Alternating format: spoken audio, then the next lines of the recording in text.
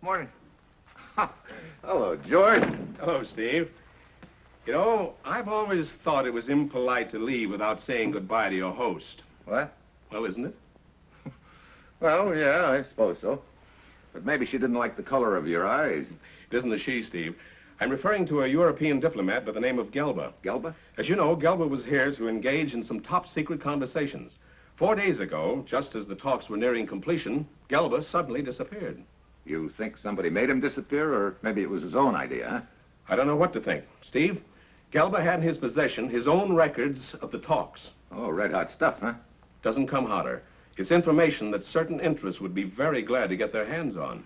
Well, if Gelba disappeared four days ago, I should think his trail would be pretty cold by now. One day cold. Last night, Gelba's daughter was seen in Barcelona, Spain. She's believed to be traveling with Gelba. Barcelona, who saw her?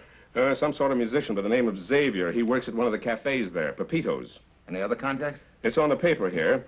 A man by the name of Majak. He's a representative from Gelba's country. He's flying to Barcelona. He'll meet you at the Hotel Granada.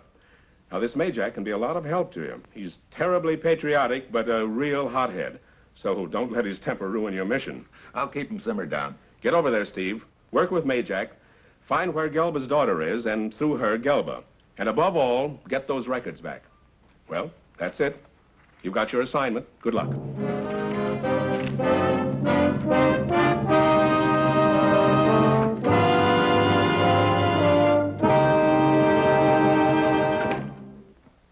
Sure, I've got my assignment. Fly to Spain and try to find a missing European diplomat named Gelba. One man in a city as large as Barcelona. A real needle in a haystack.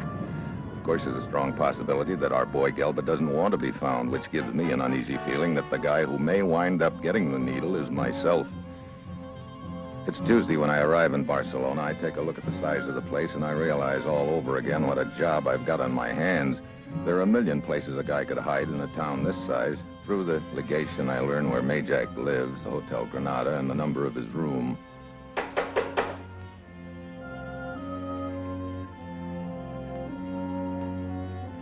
Just a minute.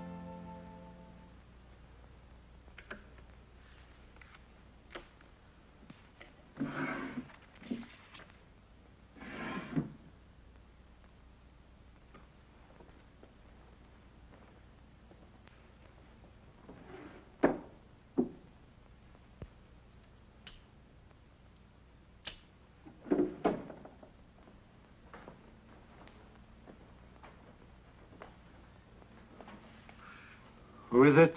Steve Mitchell from the United States.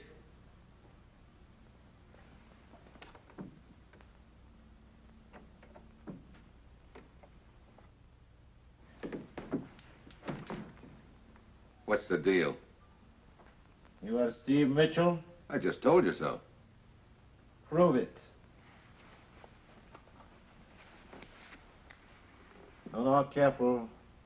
Hand them in to me, please. Turn around.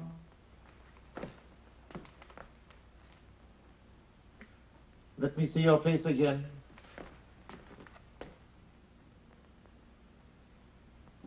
Very well. Come in, Mr. Mitchell.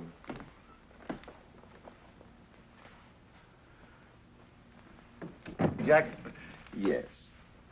Would you mind telling me what this routine is all about? Well, I am very sorry, Mr. Mitchell, but my present situation demands the utmost caution. What is your present situation? Yeah, there have been two attempts on my life in the last three days. For all I knew, this might have been the third. Who's trying to kill you? In each case, I did not have a close look at the would-be killer, but I know there are interests that wish to prevent me from finding Gelba. I see. However, their efforts are doomed to failure, for I will find Gelba. Oh, you got some leads here in Barcelona? I have only just arrived. But I do know that Gelba has no friends nor connections here. Well, that's going to make it tougher. I have a lead. It's a musician. Works in a place called Pepito's. I stopped down in the lobby and got directions to get there. Oh, splendid. Oh, sit down, please, Mr. Mitchell, and I will be with you in just a moment. Thank you.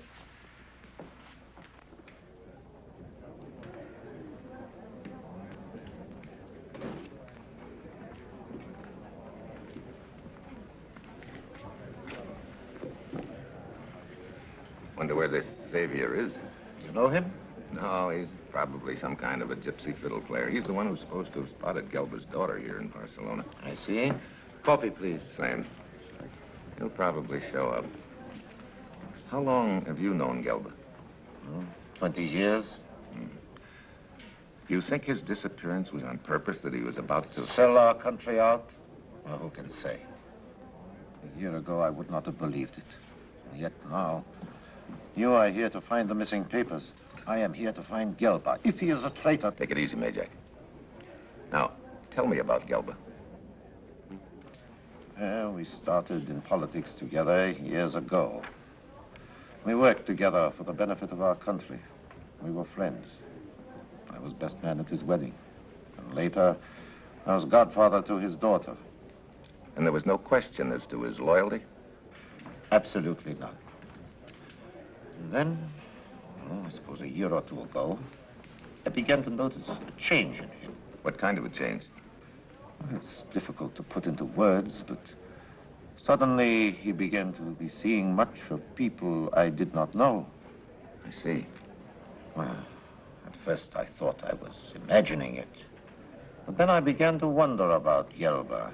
You mean there was nothing definite about his actions that would make you suspicious? That was it, exactly, Mitchell. There was nothing definite. Then came the secret conference. And his disappearance.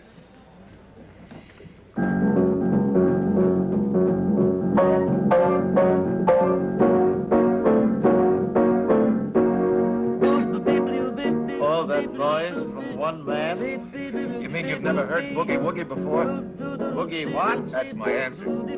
Is there anything else you can tell me about Gelba? Well, at his disappearance, I was stunned. Then I realized that my doubts about him had been well founded. Too bad you didn't let somebody else in on your hunch. Well, I realize that now.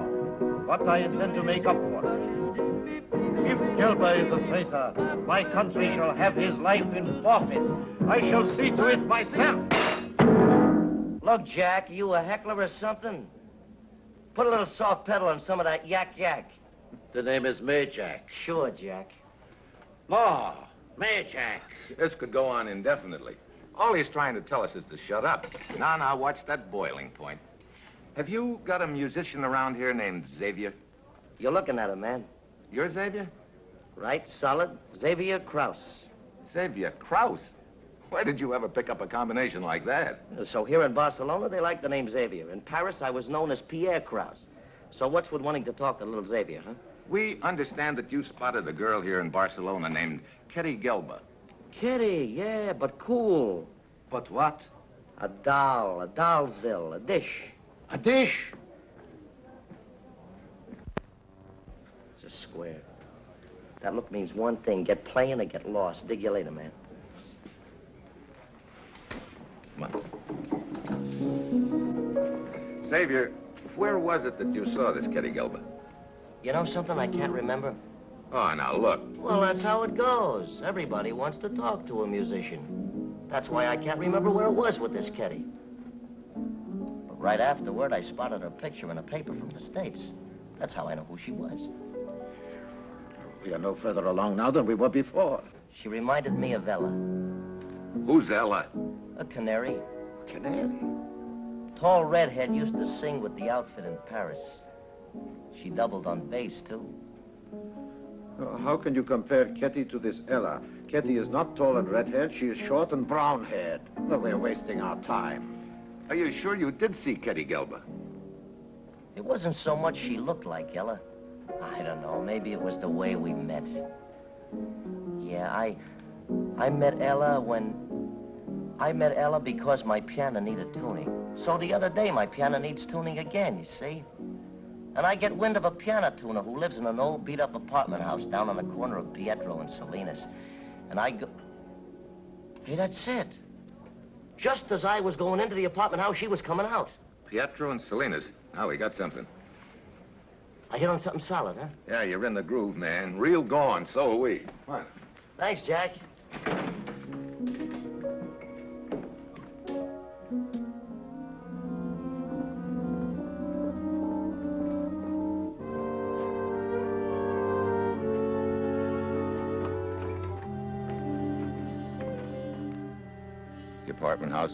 Four-story job built around a courtyard. Majak and I decide to split up.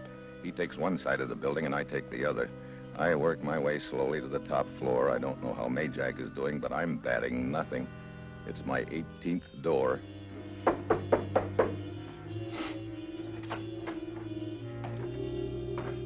I'm looking for a girl that's supposed to live here. Girl? Yeah, she's short, brown-haired, and uh, pretty. Her name is Ketty Gelba. There's no girl living here. Does the name ring a bell? No. Do you know any girl that looks like the one I described? Uh, that's it. I do know a pretty brunette, but uh, she's my girlfriend. Her name is Rita. Maybe she changed her name. No, Rita has lived in Barcelona several years. I don't think she could be the girl you're looking for. Okay, thanks.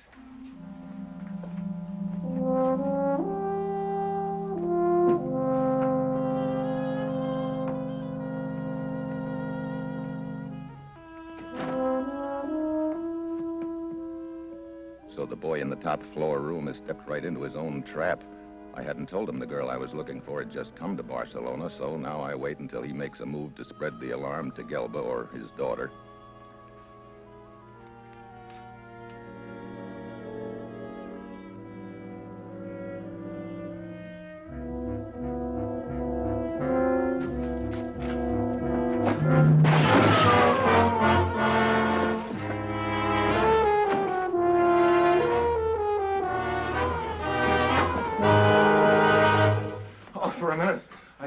The guy. Hey, wait a minute. You were in pretty much of a hurry just now. I saw the man who tried to kill you. Yeah? I know him. His name is Emil. It is Gelba's private secretary. He, too, is a traitor. Now, wait a minute. Let's not go off But I tell you- I'm telling you. This guy, Emil, is our only way to find Ketty and her father. You go on below in case he ducks out that way. I'll give the roof another look around. Go on.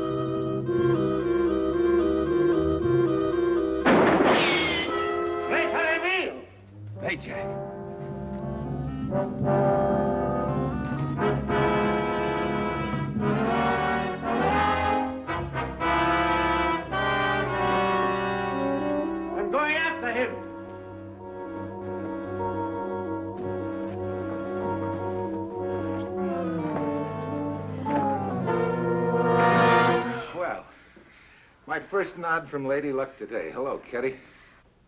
Who are you? How did you know my name? A guess and a good one. You know, you've been a hard little lady to locate. Now we're going to have a talk. Who are you? My name's Steve Mitchell. Where's your father? As if I would tell you. Do what you will. You'll learn nothing from me. Will your father be back soon? He's not here. He will not be here. All right. We'll just wait and see. Well, you, you can't wait here. No? Please leave me alone. I'm telling you the truth. Save it. All right. I am Kitty Gelba. But my father is not in Barcelona. He's he left for Paris yesterday. You stayed behind to send postcards?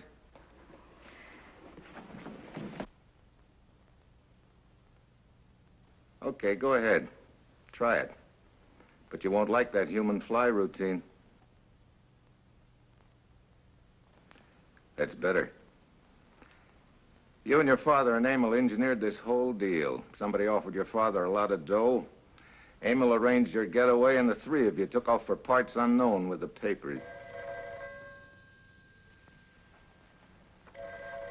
Maybe I'll have more luck with the telephone. Answer it, Ketty. I said answer it.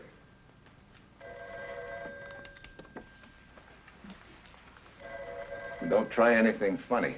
I'll be standing right beside you.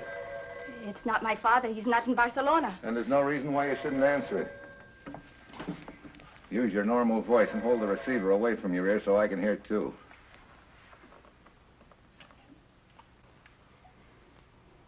Hello? Kitty? Uh, sorry, you have the wrong number. Mr. Gelba, don't hang up. Who is this? My name means nothing to you. The important thing is I'm with your daughter, and she doesn't get out of my sight until I talk to you. No, Father, don't do it. Kitty, no harm has come to you. All right. Tell me where to meet you or else. He's bluffing. Don't depend on it. I, I, Make up your mind. No, no. very well. I will be at the San Marcos Bridge. Kitty knows the place. Well, at least Emil got away from you. Right now, your father's more important to me than Emil. Come on. Hello, George. I thought I'd better bring you up to date on this deal. I found Ketty Gelba. Good work. How'd you do it? That Xavier turned out to be an American boogie-woogie artist. After a long song and dance, he gave us the address of an apartment house where he said he'd seen Ketty. Is she with you now? No, she's in the temporary custody of my friends, the local police. After I finish this call, I'm going to meet her. We have a date with her father. What's that? Yeah, we're going to meet someplace called the San Marcos Bridge. Fine. But uh, just one thing, or uh, maybe you've already thought of it. I have. It could be a trap.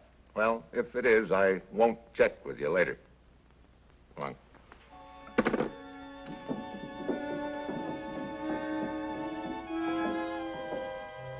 Father said you knew the place. Where is it? I've forgotten.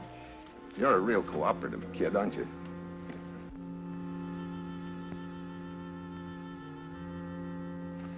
Well, we just keep walking until we find him. Kitty. Looks like he's saved us the trouble by finding us. No, Father, no! Run, Father, run, run. Who are you? He's one of them. What? Now, don't start that one of them routine again. Oh, Ketty, we are beaten. Oh, no. I'm so tired of running. All this I've done to protect you, and now they've captured you anyway. Protector? What do you mean? You threatened to kill me. I threatened. Wait a minute. Mr. Gelba, you'd better take a look at these. A United States agent? What? That's a general idea. Now, what's all this business about protecting your daughter? Oh, what a relief. Well, now that my daughter is safe, I can tell you everything. As you know, I went to the United States relative to setting up air bases in my country. Yeah, then you took a powder. No. I was approached by interests who wished me to betray both our countries and to divulge secret information which had been discussed in the conference. Who approached you? I don't know. It was done by a written message. They warned that if I didn't do as they said, my daughter would be killed. I see. Well, my first thought was for her safety, right or wrong. An escape to Barcelona was arranged for us. Hmm. But you took your papers with you from the conference. I had no choice. I knew I was being watched. I had no opportunity to give them to anyone who could be trusted. To leave them in my room would have been insane. But you knew that what was in them was top secret. Oh, yes. That's why I kept the records in my own scramble hand. Scramble hand? that's, that's my own form of uh, secret writing. well, I'll be. So you've been one jump ahead of them all the way, huh? Well, we're still not out of the woods. What do you mean? Whoever tried for those papers will make another try. They know you've got them. Well, who could it be? Who arranged your trip to Barcelona? Emil? It was he who... Oh, no. It couldn't be Emil. Wait. By arranging the escape and coming along, he would have a better chance to get the papers. Where are the papers now? In a briefcase, hidden behind a loose board in Emil's closet. Does Emil know? No, I felt I could trust no one. Let's go.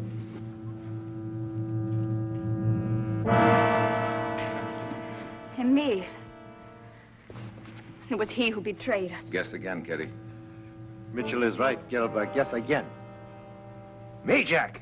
Yeah, Majak, my little playmate, who wanted to help me so much to find his old friend Gelba. Now I see why. I'm grateful to you for your help, Mitchell. You've been most cooperative. I thought you were associated with Majak until he caught me. He made me come with him until he followed you and Ketty here. So you were the one that dropped that tile on me. I'm glad I missed you then. And again at the window. You've been of great assistance, Mitchell. So what happens now? The obvious. You none of you are of any use to me now. And you, Gelba, have been kind enough to divulge the hiding place of the papers.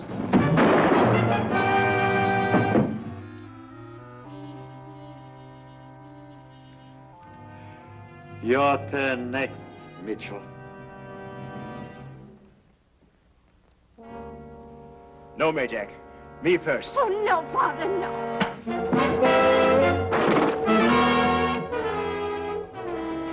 Are you all right? Sure. But Majak, he knows where the papers are. I thought you said they were in secret writing. You don't understand. He developed it with me. He can read them as well as I can. You take care of Emil. Thank you.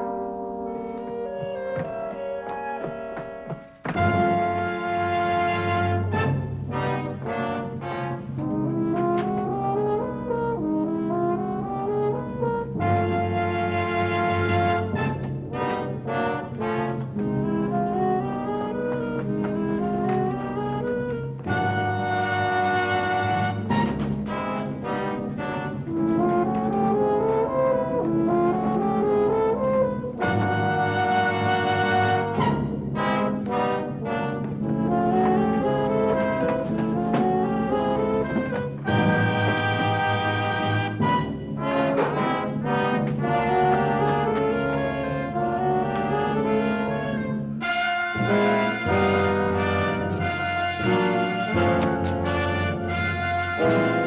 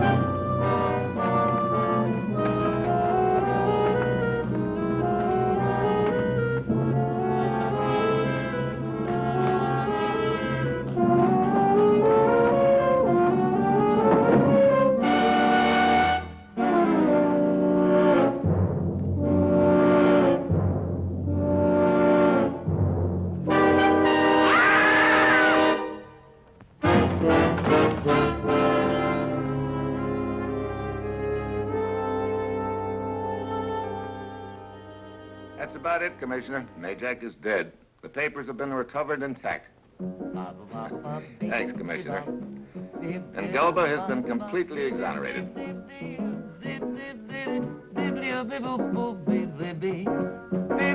Hey, would you mind moving over, Jack? I think you have the wrong party. My name is Gelba. Yeah, sure, Jack.